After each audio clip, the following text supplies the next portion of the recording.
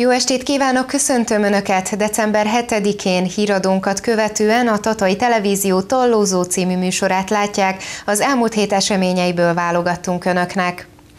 November 30-án hétfő este láthatták híradónkban, hogyan zajlanak a halászati munkák az Öregtavon, és milyen programokkal készültek a vadlucsokadalom szervezői az elmaradt rendezvény helyett. Új berendezésekkel bővült a Vaszari János általános iskola ebédlője, asztalokat és székeket kapott az intézmény az önkormányzattól. Itt, itt nincs, Kora hajnalban vetették ki a hálót a halászok az Öregtóban. A halgazdálkodás tatai hagyományait és a halfogyasztás kultúráját népszerűsítő nagy halászfesztivál ugyan elmaradt az idén, de a tavasszal telepített, mostanra szépen gyarapodó állomány így is hamarosan a tataiak és a környékbeliek asztalára kerül.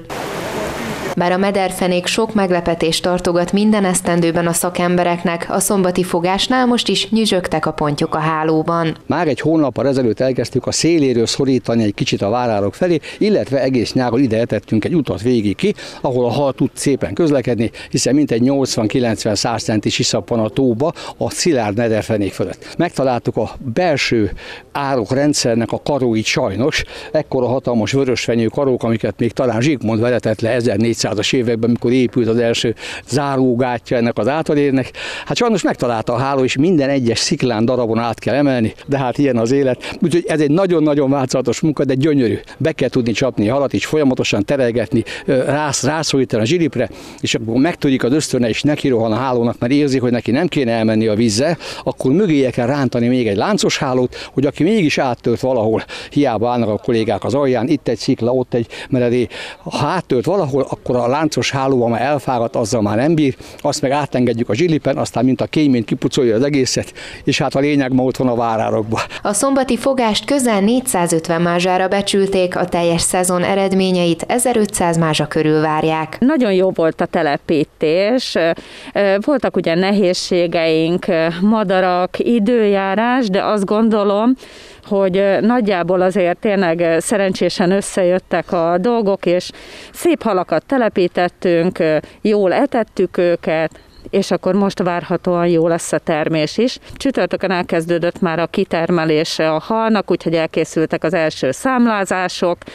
és hát úgy néz ki, hogy azért egy szép bevétel kerekedik ugye ebből a hal értékesítésből. Várhatólag a halászat maga, ez nem egy, nem egy hosszú tevékenység, tehát egy 15 nap alatt várhatóan le tudjuk halászni a tatai öregtavat. A halakra ugyanakkor sok veszély leselkedett az év során, a kisebb példányok általában a kormoránoknak estek áldozatul, de idén már a harcsákat is kénytelenek a halászok kitermelni, ezek már a nagyobb pontyokban is kárt tesznek. Az állomány biztonságát folyamatosan a halászati őrök felügyelik, sőt a várárokba már egy kamerarendszert is telepített az Öregtó Halászati Kft. A vadludak nem, de az átlagosan 15 ezer látogató most hiányzott az Öregtó partjáról. Rendhagyó az idei vadlud sokadalom, hiszen a szervezők kénytelenek voltak a legtöbb programot az online felületekre helyezni. A legelhivatottabb madárbarátok azonban így is vállalták, hogy a fizikai találkozás nélkülöző egésznapos versenyen részt vegyenek. Visszatértünk a gyökerekhez, hiszen 2001-ben, mikor elindítottuk a Tatai vadlud sokadalmat, akkor az első és legfontosabb programunk az a madarász verseny volt, hiszen ezzel a madarász verseny, a madarászok jelenlétével kívántuk felhívni a Tatai Rektó madártani értékei a figyelmet, tehát mind a döntéshozók, mint a polgárok, az embereknek az érdeklődésének a központjába állítani a Tatai Öregtavat. Ez volt a fő célunk. Úgyhogy sajnos most az online térbe vittük át a rendezvénynek a legfőbb programjait, és egyedül a madarász verseny online regisztrációval, online eredményhirdetéssel tud megvalósulni itt kint a helyszínen. Az egynapos fesztivál helyett most arra van lehetőségük a madarászoknak, annak, hogy az egész szezonban közvetítsék a vadludak mindennapjait, és lehetőleg minél több információt osszanak meg róluk az internetezőkkel. November-december, még januárban is talán be tudjuk mutatni ezt a jelenséget, és nem egy napra fókuszálunk, hanem, hanem végig, és ez, ez szerintem egy jó dolog. Eddig a visszajelzések alapján, hogy hányan nézték meg a videókat, hányan jeleztek, kommentáltak, reagáltak, lájkoltak a közösségi oldalunkon, abban az derül ki, hogy, hogy most már tényleg van egy több mint tízezer fős bázisa, úgymond vad, a vadlud rajongók köre. Én úgy érzem, hogy ennyi embert szerintem sikerül megszólítanunk. A madarak évezredek óta követik ugyanazokat a vonulási útvonalakat, bár szokásaikat egyre jobban befolyásolja a klímaváltozás, Tata és környéke még mindig az egyik legjelentősebb telelőhely. Most is arról beszélhetünk, hogy egy ilyen langyos forrásokkal táplált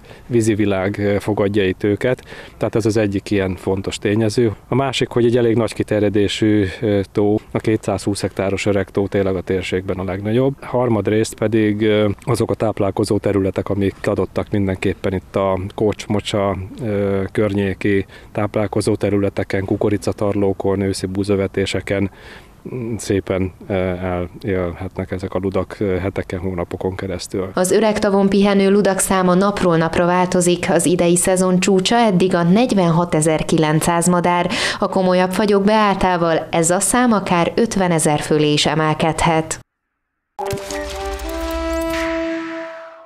Korszerűbb és kényelmesebb bútorok fogadják már a Vasszari János általános iskolában azokat a diákokat és pedagógusokat, akik az intézményben étkeznek. A korábbi berendezések nem csak elavultak voltak, de a tisztításukat sem tudták már megoldani. Az eszközfejlesztést az önkormányzat finanszírozta. Nagyon vártuk már, hiszen kárpitborítású székeink voltak, és nem tudtuk igazán tisztítani sem már, elég elkoptak, úgyhogy nagyon-nagyon örültünk ezeknek az új székeknek, asztaloknak, hiszen így egy kicsit kellemesebb környezetben, kicsit vidámabb környezetben ebédelhetnek a diákok. Köszönjük az, az önkormányzatnak és polgármester úrnak ezt a támogatást, nagyon vártuk, és, és nagyon hasznos most így. Most történik még a díszítése is a teremnek, tehát kollégáim azon dolgoznak, hogy a maga díszítés is egy kicsit vidámabb legyen, és jobb környezetben étkezzenek a gyerekek. Nagyon szeretnénk, hogyha több gyermek tudna leülni az ebédlőben. Jelenleg 76 gyermek tud leülni. 3-400 között van a létszám, 350-400 között van a gyermekek létszáma, akik naponta étkeznek az iskolánkban. Sajnos nagyon nehezen tudjuk megoldani, hogy mindenki elég időt szánva rá étkezzen. Nagyon szeretnénk, hogyha az a tér, ahol a gyermekek étkeznek, nagyobb lenne, hiszen hátul, mivel mi már nem főzőkonyhát üzemeltetünk, hanem csak tálalókonyhát, nagyon örülnénk, hogyha a hátsó részt, ami üres, ott is fel tudnánk használni ezt a területet arra, hogy a gyermekek leüljenek. Ez egy nagyon nagy álmunk, mert a kollégák és a diákok részéről is nem lenne ennyire stresszes az ebédeltetés. December 1-én kedden tudósítottunk arról az adományátadóról, amelynek jóvoltából több mint 100 liter fertőtlenítőszerrel folytathatja a vírus elleni védekezést a Tatai Szociális Alapellátó Intézmény és az Idősek Otthona. Múlt hét szerdán beszámoltunk a városi piac működéséről, valamint a járványügyi védekezés részeként végzett tesztelésekről is. Mindemellett a Szociális Alapellátó Intézmény adománygyűjtési akciója is megkezdődött. Vigyázzunk egymásra! Az idei évben egyre több helyen hallható, illetve olvasható a motto, így a Bristol Kft. adományait rejtő dobozon is. A vállalat ugyanis több mint 100 liter fertőtlenítőszert, védőruházatot és egyszer használatos maszkokat adományozott november végén a Tatai Szociális Alapellátó Intézmény és a Tatai Kistérségi Időskorúak Otthona számára. Ugye a Bristolnak alapvető célunk és küldetésünk, hogy a helyi közösséget támogassuk és szolgáljuk. Ezt már alapítók is megfogalmazta Solcsira Isibasi, hogy a társadalom szolgálta kiváló minőséggel, és ugye, ahogy ön is mondta, ez egy rendhagyó időszak sajnás módon, ugye nagyon hektikusak a körülmények, és ilyenkor még jobban felelősségnek érezi a vállat, hogy ahol a lakóközösségünk van, ott, azokat, akik leginkább rászólnak, azokat segítsük. És tulajdonképpen ugye, amivel mi segítünk, azok védőfelszerelések, a járvány elleni védekezés elősegítését szolgáló tisztító folyadékok, gumikesztyűk, egyszer használatos maszkok, minden, ami szükség van arra, hogy főleg a szociális ellátó, hogy a rászorulók azok tulajdonképpen személyes ö, ö, támogatást kapjanak ezáltal.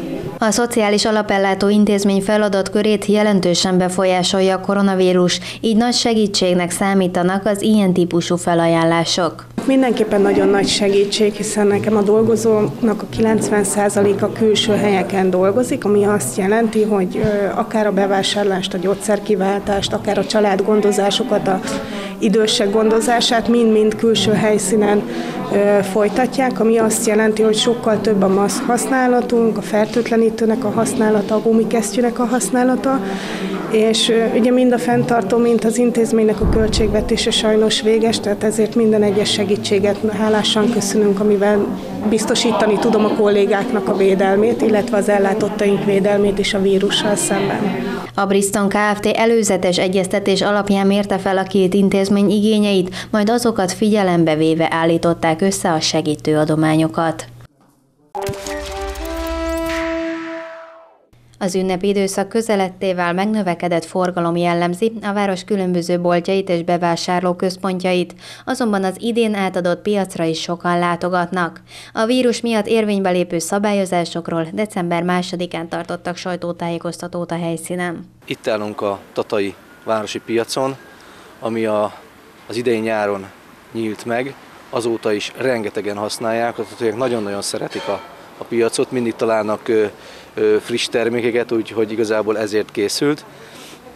Szeretném felhívni a tataiak figyelmét, hogy a kormány legutóbbi döntése alapján vásárlási sávokat hoztak létre, ami a városi piac területére nem érvényes, kivéve a négy fix bolt, bolt esetére mivel rengetegen járnak szombatonként, főleg szombatonként, szeretném megkérni őket, hogy a maszkviselés szabályait tartsák be, és azt a távolságtartást is abszolút vegyék figyelembe és tartsák, hiszen így lehet ezt a vírust megakadályozni, legalábbis a továbbterjedését megakadályozni. Személyesen jöttem el Kis Sándor, piac üzemeltetőhöz, hogy beszéljek vele, és megkérjem, hogy a vírus elleni védekezésben lehető, lehetőség szerint a, a piacon dolgozó eladóknak az asztalát helyezzék el úgy, hogy még nagyobb távolságban legyenek egymástól, hiszen, hiszen ez is nagyon fontos a távolságtartás érdekében. Annak esetleg a kárára is egy-két parkolót ideiglenesen esetleg elveszünk. A városi piac decemberben megváltozott nyitvatartással, szerdán és szombaton 7 órától délig, pénteken pedig délután 3 órától este 6 óráig várja a vásárlókat. A polgármester úrnak a felvetésével teljes mértékben egyetértek, és tekintettel arra, hogy valóban a szombati napokon meglehetősen zsúfolt a piacunk, mindösszesen két méteres távolságokat tartottunk az asztalsorok között, azzal, hogy a parkolóba telepítjük a, a büfékocsikat, ezáltal meg tudjuk oldani, legalább 3-3,5 méter lesz kint az asztalsorok között. A tapasztalatom az, hogy egyébként a, a városban vásárlók betartják a maszkviselési szabályokat, minden esetben jók a tapasztalataink erről és egyúttal szeretném buzdítani a lakosságot, hogy bátran látogassák a piacot, mert azért itt a szabad levegőn sokkal kisebb a kockázat annak, hogy fertőzést összeszedjenek, és továbbá azért is fontos ez, hogy itt a helyi termelőket támogassák a vásárlásaikkal. Azért most eléggé megcsappant meg, a forgalmuk. A piac decemberben fenyőfa vásárlási lehetőséget is kínál. 42 tanintézmény több mint ezer pedagógusát tesztelik Tatán a város járási hivatalának szervezésében. Az érvényben lévő kormányrendelet értelmében hetente végzik a gyors tesztelést az ország különböző pontjáról érkezett orvostan hallgatók. Kilenc településen kezdtük meg november 23-ától a teszteléseket. Ez azt jelenti, hogy 42 intézményt keresünk fel ezekben a napokban, illetve hetekben. Négy tímet állítottunk fel, ezek a tímek három főből állnak, a három főből kettő orvostan hallgató vagy gyógyszerész hallgató, és egy adminisztrációs munkatársunk vesz részt a tesztelések során. Többségében mindenki él a lehetőséggel, heti szinten hozzávetőleg 1100 fővel kerülünk kontaktusba. Nagyon pozitívak a visszajelzések mind a hallgatók munkájára nézve, mind pedig a tesztelésre magára vonatkozóan, mert ezért szeretik a pedagógusok is, akik közreműködnek a gyermekek nevelésében, oktatásában, szeretik biztonságban tudni mind magukat, mint a gyermekeket, akivel kontaktusba kerülnek. A hajnalcsillag tatai református óvodában nem először történik a pedagógusok tesztelése, és szinte kivétel kivétel nélkül mindenki él a lehetőséggel. Második alkalommal történt nálunk a tesztelés itt az óvodában. Minden kolléga sorban egymás után jön ki és vesz részt a tesztelésem. Megnyugtató volt mindenki számára, hogy kiderülhet, hogy tényleg most negatív. Ugye mindenki tünetmentes volt, és, és bíztunk benne, hogy akkor egészségesek is vagyunk, így meg, meg is bizonyosodhattunk róla. A Tatai Boros Tamara a Szegedi Tudományegyetem általános orvosi karának hallgatója, most ő is segít a tesztek készítésében. Nem egyszerű, ugye a harmadévet mondják, hogy a legnehezebb, úgyhogy emiatt ugye délelőtt, mekkora délután még dolgozunk, délután pedig még ugye nagyon sokat tanulunk, de szerencsére az egyetem is most már segít nekünk, támogat ebben úgyhogy így meg tudunk küzdeni a feladattal. Hetente szoktuk egyszer tesztelni magunkat, hogy azért tudjuk, hogy ugye mi a helyzet mégis, csak szerencsére nem találunk sok pozitív esetet. Szoktuk kapni ezt a ruhát, ez mindenhol ugye másmilyen szokott lenni, amit éppen kapunk. Van kesztyünk, ebből mi kettőt szoktunk felvenni, mindegyiket előtte fertőtlenítjük, illetve ez az FFP2-es maszk, amit használni szoktunk, illetve vagy védőszemüveg, vagy ez a plexi pajzs, amit még használni szoktunk. Thank you.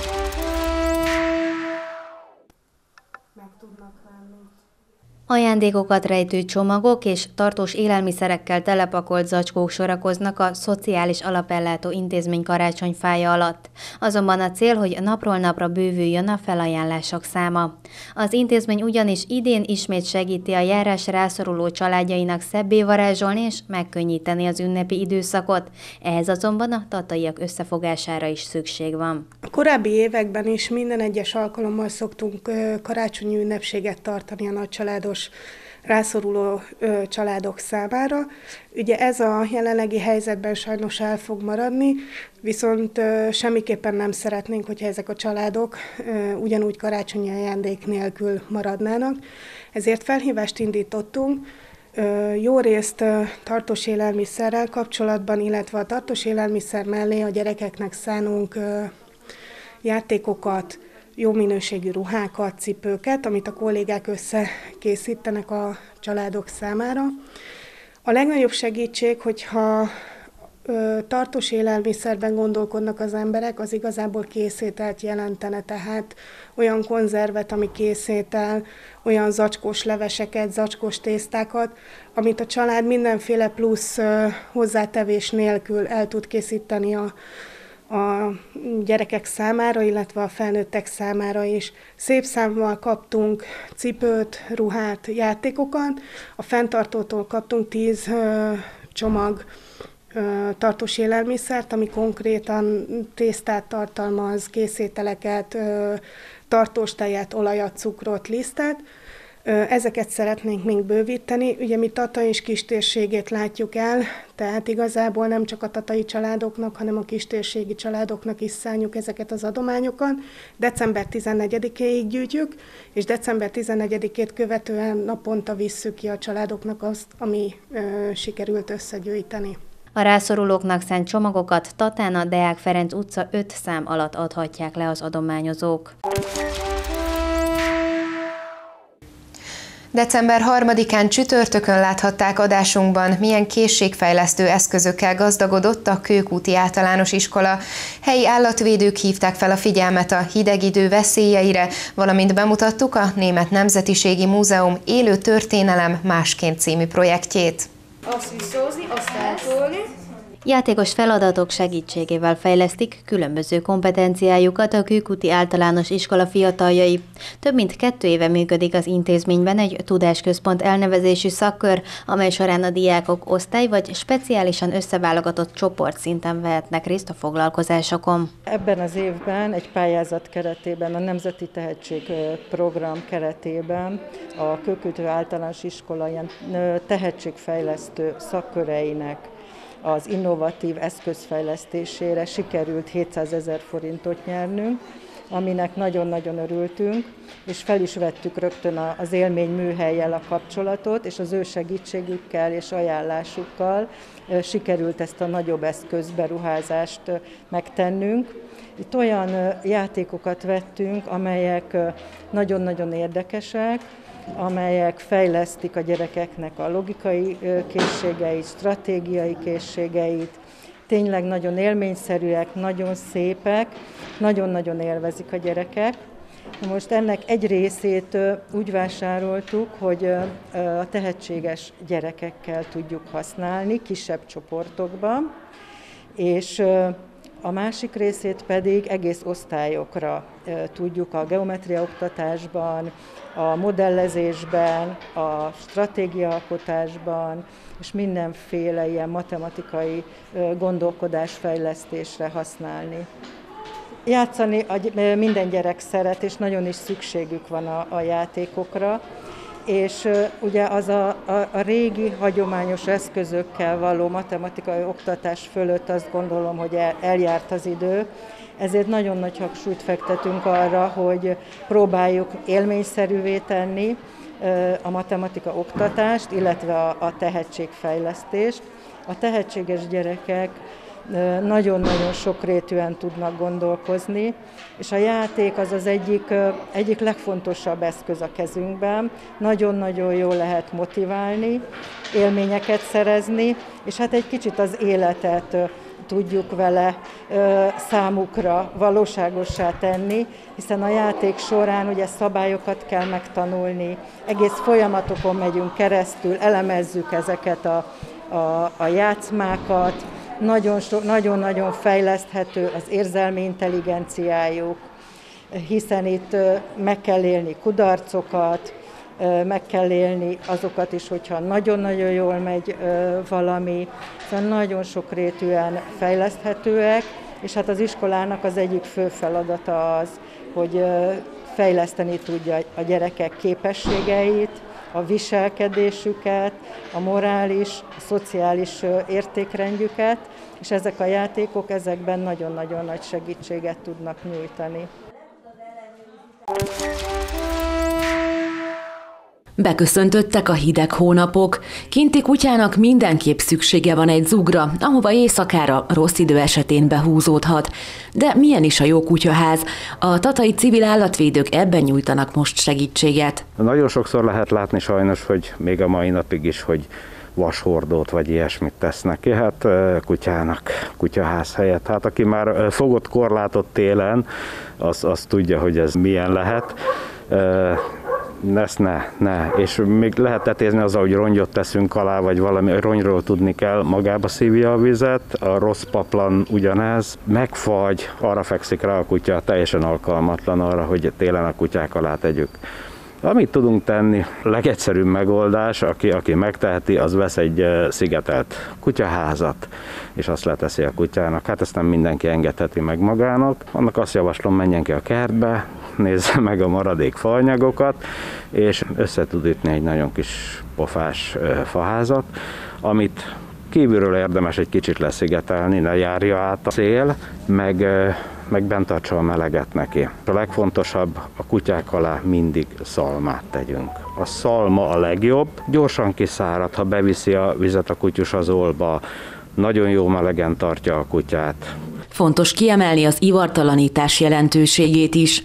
Sajnos a nagy egyedszám és a korlátozott gazdasági lehetőségek miatt ez a probléma évről évre egyre súlyosabb helyzetet teremt. Egy ivartalanítás összege, tehát költsége sokkal alacsonyabb, mint mondjuk egy ellés után, amikor születik 5-6 kis cica, azokat etetni, féregteletni, stb.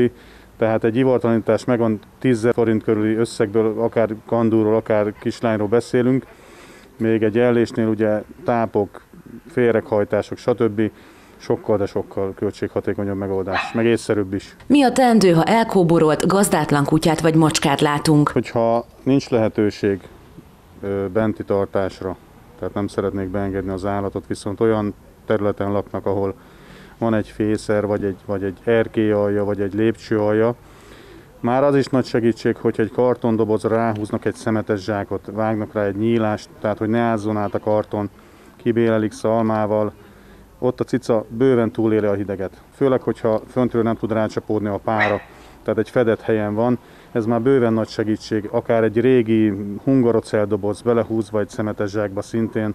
Bőven, bőven jó megoldás lehet, amíg oda nem érünk, vagy, vagy, vagy olyan megoldást nem találunk, ami, ami megmenteni az ilyen időjárási viszontagságoktól. December lévén érdemes már most felhívni a figyelmet arra, hogy a szilveszteri tűzijáték milyen hatással lehet házi kedvenceinkre. Az a szerencsénk, hogy olyan területen vagyunk, ahol tiltott az a petárdázás meg a tűzijáték. Nekünk ez ilyen szempontból jó előny. Ettől függetlenül vannak természetesen elkóborolt állatok. Ugye ilyenkor, amikor ők elszaladnak, megijednek, van úgy, hogy két-három nap is eltelik, hogy valahol meghúzzák magukat, csatangolnak, tehát idő kell, mire be tudjuk őket fogni, illetve hát itt, itt az a legfontosabb dolog, hogy ha valaki lát ilyet, hogy ne csak jelezze, hogy itt látta, mert az 10 perc múlva már nem ott lesz. Lehetőség szerint csak egy picit fogja meg, vagy, vagy valami olyan pontra vigye el, gondolok itt állatkórházra, vagy, vagy olyan helyre, ahol van lehetőség arra, hogy bezárjuk, hogy ne menjen tovább. Csippesek legyenek az állatok, védőoltással rendelkezzenek, kombival, tehát minden olyan fontos dolog legyen meg, hogyha véletlenül elcsatangol a kutya, segítse a munkánkat, hogy, hogy könnyen megtaláljuk a gazdáját, ki tudjuk olvasni, és akkor ezáltal könnyen haza is tudjuk juttatni őket. Ismét online térbe költözött egy időre a Német Nemzetiségi Múzeum is. A tavaszi időszakban pozitív visszajelzések érkeztek a Schwab Életképek című sorozatra, így tovább folytatják. Már elérhető a piros lábos nevet viselő kisfilm, amely a Skanzen élő történelem másként Múzeumok virtuális térben című projekt keretében készült el. Ennek a létrejöttéhez az Emberi Erőforrás Fejlesztési Minisztérium adott támogatást, és az volt a cél, hogy a múzeumok minél professzionálisabb szinten tudjanak olyan kisfilmeket megvalósítani, amiben egy-egy tárgynak a történetét, vagy egy-egy épületüknek, terüknek a történetét mutatják be.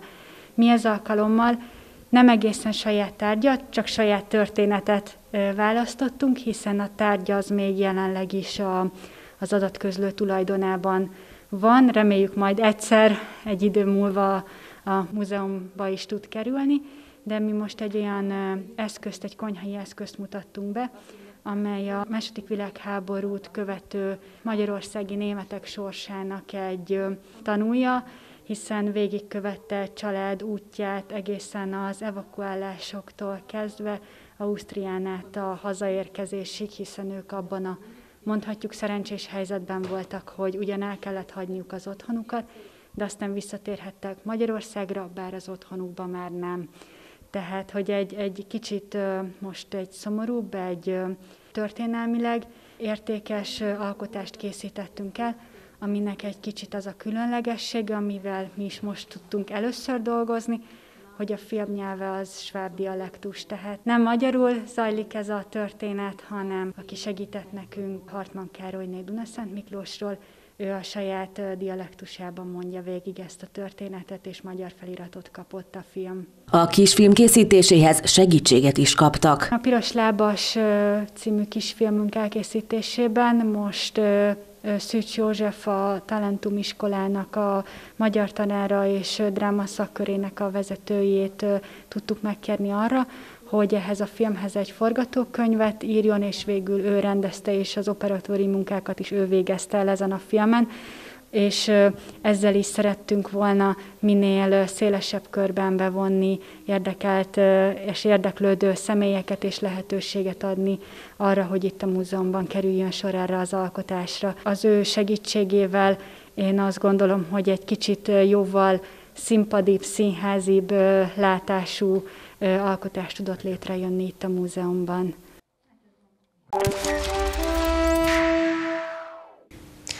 Szokásos tájékoztatóját tartotta a járványügyi helyzetről Mihi József polgármester december 4-én. Ezen a napon számoltunk be a városunkban zajló ünnepi előkészületekről is. Jelenleg három feldíszített fenyő gondoskodik a hangulatról Tatán.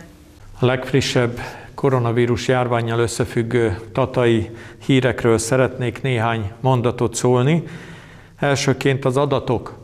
135-en vannak jelenleg karanténban Tatán, és ebből 127-en pozitív teszt miatt. Öten vannak a városból kórházban. Ez azt a képet mutatja, amit a hét elején is elmondtam, nagyjából hasonló a tendencia, hasonlóak az adatok, tehát nincs kiugró változás e tekintetben. Persze mondhatjuk, hogy ez a mi 24 ezeres városunkhoz képest is akár sok is lehet, de ahogy láttuk az elmúlt időszakban, körülbelül ezek a számok voltak ismertek. Tájékoztatom önöket, hogy az intézményeinkben tovább folyik a tesztelés, tehát nem csak az óvodákban és iskolákban, ahol köszönettel vesszük a kormány támogatását, és hogy ő megoldja a tesztelést, hanem a saját intézményeinkben, hivatalainkban is elindítottuk természetesen, így a Városkapu cégünknél, a múzeum munkatársai körében, vagy itt a hivatalban is. Ennek az eredményeit szintén fogom ismertetni, eddig nem született még pozitív eredmény, úgyhogy erről a jó hírről tudok beszámolni.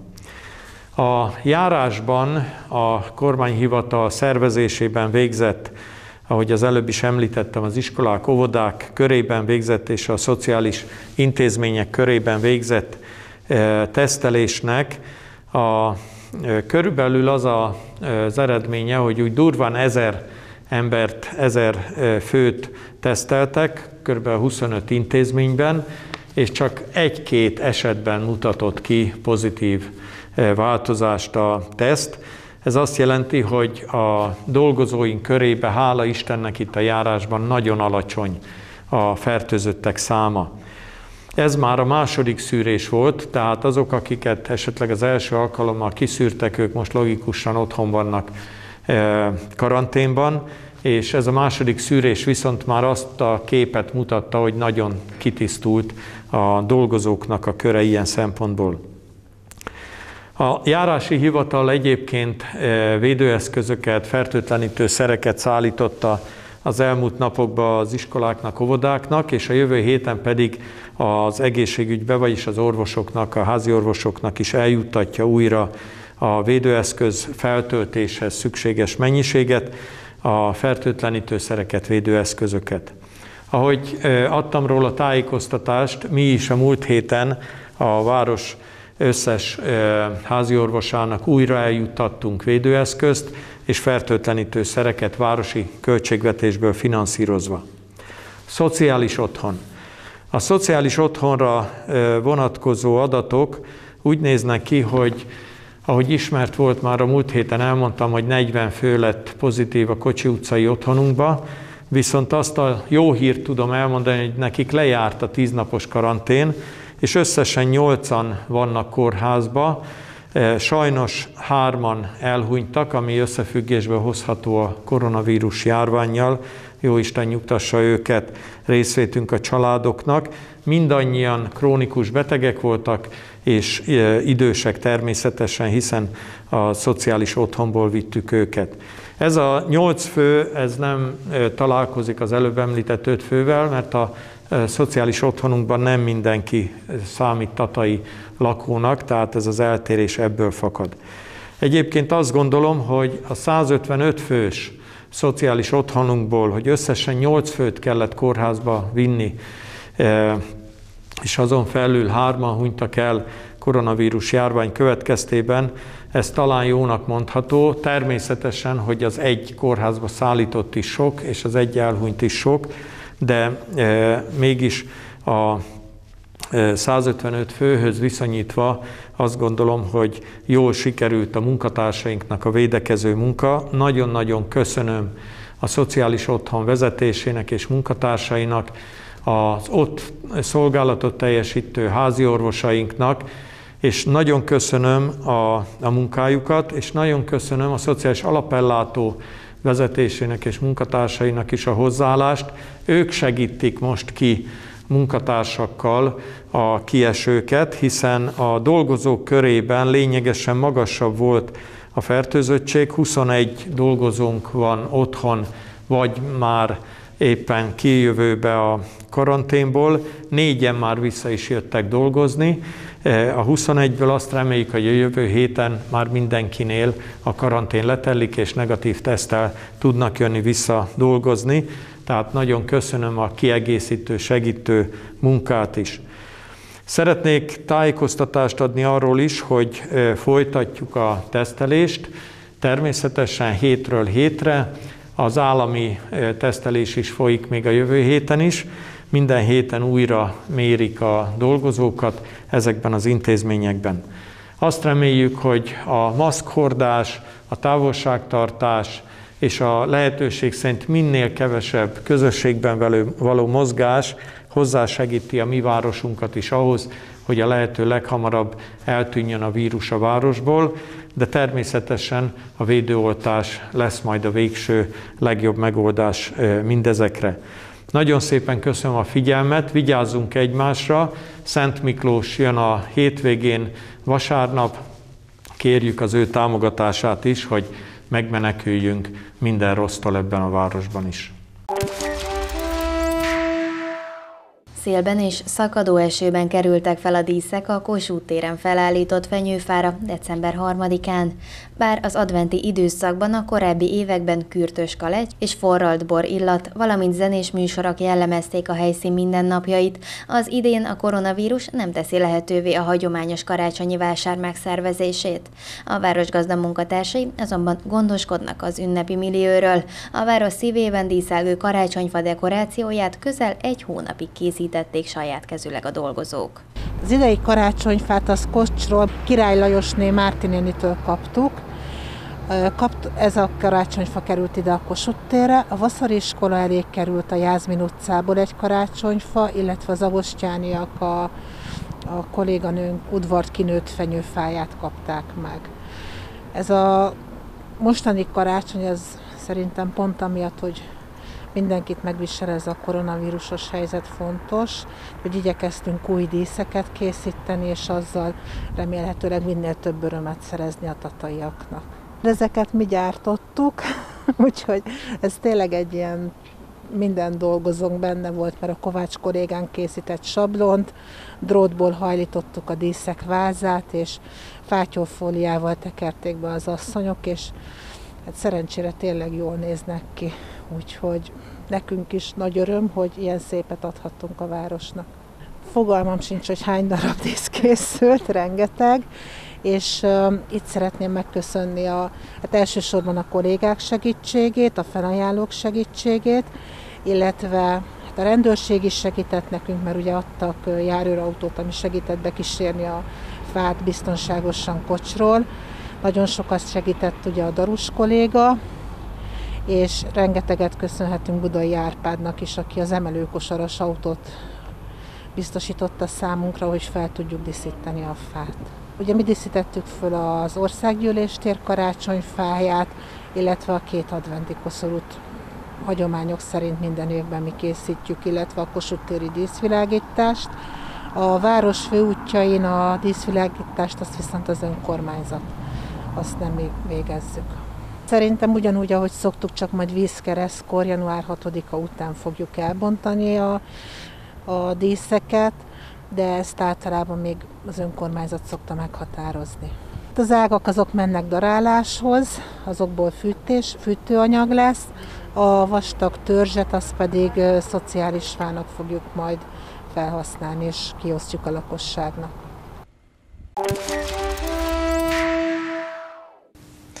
Köszönjük megtisztelő figyelmüket! December 7-én hétfő este a Tatai Televízió Tallózó című műsorát látták. Műsorunk legközelebb jövő hét hétfőn jelentkezik, de addig is kövessék figyelemmel napi híradónkat. Én szép estét kívánok Önöknek, viszontlátásra!